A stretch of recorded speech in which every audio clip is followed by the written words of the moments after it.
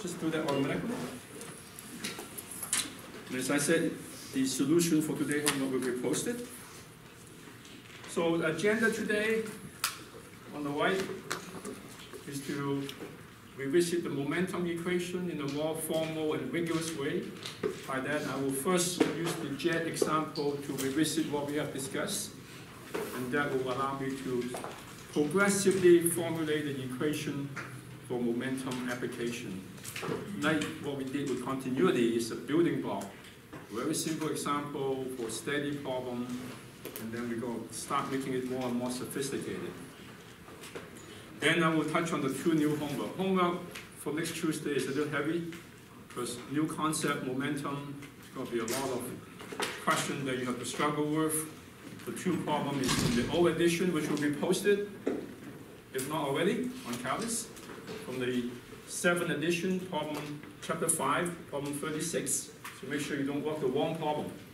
I assume by now you all understand what the O stand for. And then the problem on the new edition, the eighth edition, the one you have, problem forty of chapter five. Continuity is not done yet. We still have some small detail that we have to address. So we go back to that and look at that equation and make one more change to it. Non-uniform velocity.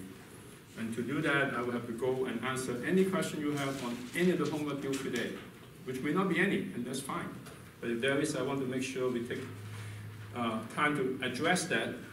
And then I will start talking the new homework due for next Tuesday also, and then steady problem for the very few cases where you have to account for time-changing events.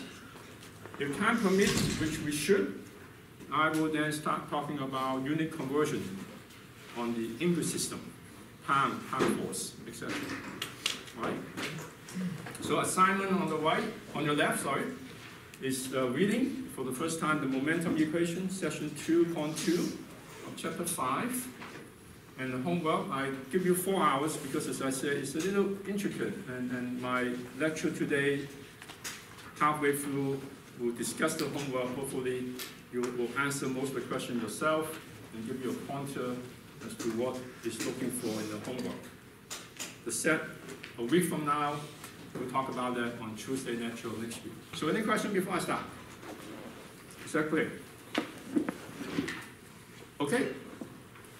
So last time we had this jet, just for the sake of argument, is water, hitting a plate, and then we are asked to calculate the anchoring force F in blue that is needed to make the plate stationary.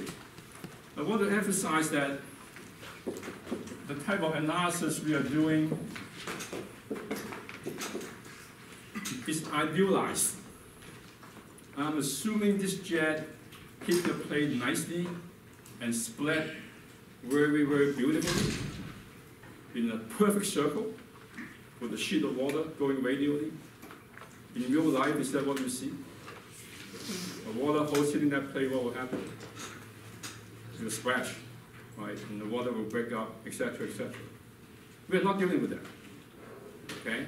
We as an engineer are trying to make some estimate of forces, plus or minus 5%, even 10%, so that I know if this is a nozzle and I have some bolts, I need to hold the nozzle stationary in place, what I suppose I need.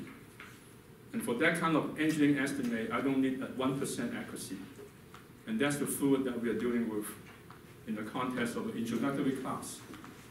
Uh, is that clear in the sense that it's not confusing you? Now, contrary to that, if you're played by Pratt Whitney or Rolls-Royce to design that engine out in the atrium, they're looking for 1% improvement in efficiency. So what we learn here is not going to cut it. And that's something you have to learn in graduate school or more advanced fluid classes. And we'll deal with that later on in the semester. Give you an idea of how this class may prepare your career in the future in some of those industries. So what we have done is to first draw the control volume. Is there any question as to why that is so important? Anyone? So that's the first thing Mike and I will look for in the homework and the test. Until you tell me exactly what you are analyzing, I have no clue when you say here's a momentum equation, what you're talking about. Totally irrelevant. All right? Any question on that? Now, drawing the control volume is not trivial. You will take practice, you will take homework, sample, And many problems, once you see it once, become repetitive, but it is a learning experience. Right? So in the outset night today, I will tell you what control arm to draw for some of the homework problem. But in the test, obviously, you're on your own. So be patient with yourself. By doing homework, you will learn. The second step, what anyone will to make a guess what the second step is? I didn't say it last time, but it's also as important as a control one. Anyone want to guess? No? A good answer. You have to tell me what is your coordinate system. You have to tell me what is your x and what is your y. Because in the momentum equation, sign and sign is critical. And the way you will mess up, trust me, is on the sign. And until you tell me what, where is positive x, I have no clue what your plus sign means and what's your minus sign mean. Okay? So those two first steps then will establish our references. So you and I now are on the same page. We can now start to communicate. Question on that? So with those layout, I don't want to repeat the homework or the, the in-class problem.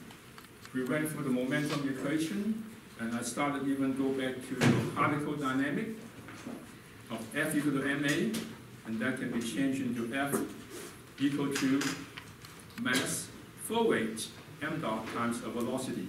Remember all that? Here, let me write it out just to, just as a reminder. So in particle dynamic,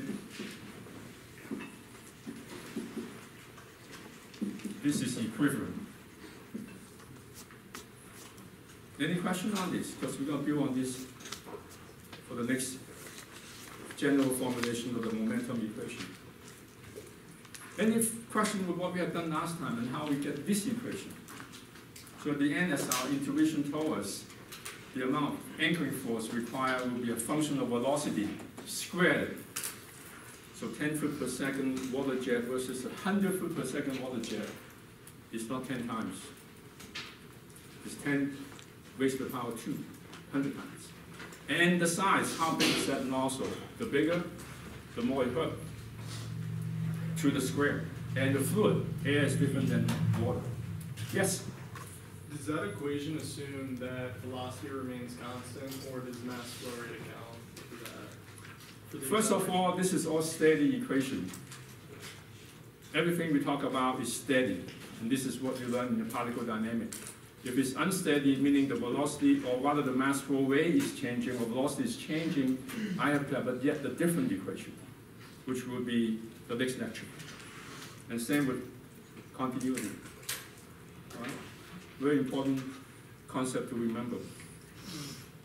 Any questions so far?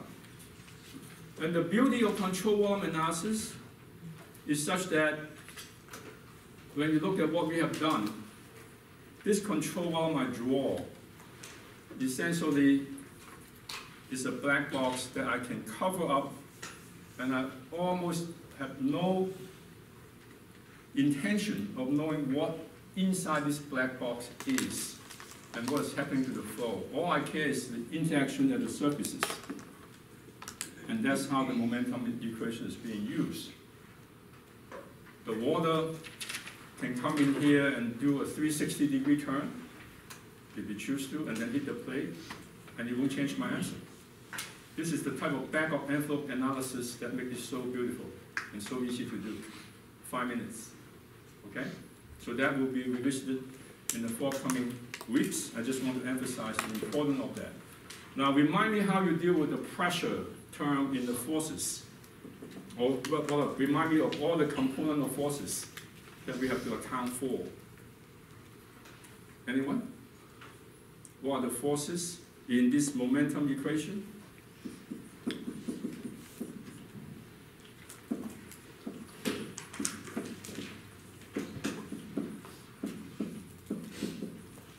It's a very simple form which we will start to alternate today.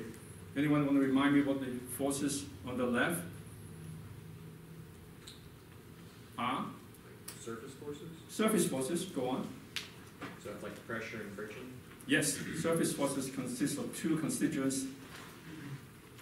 Pressure, which act on the surface, and friction, also act on the surface. That's one of the three components. The other two, quality force, right? which we neglect based on the problem statement. For example, this is an air jet, not enough density to pull the water, or pull the jet down. The third one, anchoring force, the force that you asked to calculate. All right? Any question on that? So now we're going to give you a new vocabulary or new term. The product of m dot, which is mass flow rate, not mass, mass flow rate, rho VA, kilogram per second, times the velocity in the x direction. We'll call it from now on in the x direction. Momentum flux, flux. You may have seen that in electrical theory, electromagnetic flux. Mm. And that's how we will call them moving forward. The out subscript stands for momentum flux, leaving, getting out of my control volume. And whereas the second term is the x momentum flux, leaving, sorry, sorry, coming in, in to my control volume. So with that, I'm going to write this equation in plain, simple English. We'll call that left-hand side net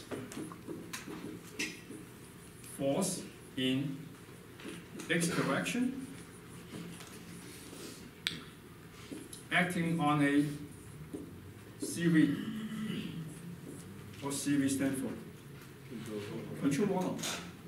All forces, not just one of the three, but all has to be book kept and the net, meaning accounting for the sign, whatever residual net force is, that's our driving potential that will change the momentum of the flow.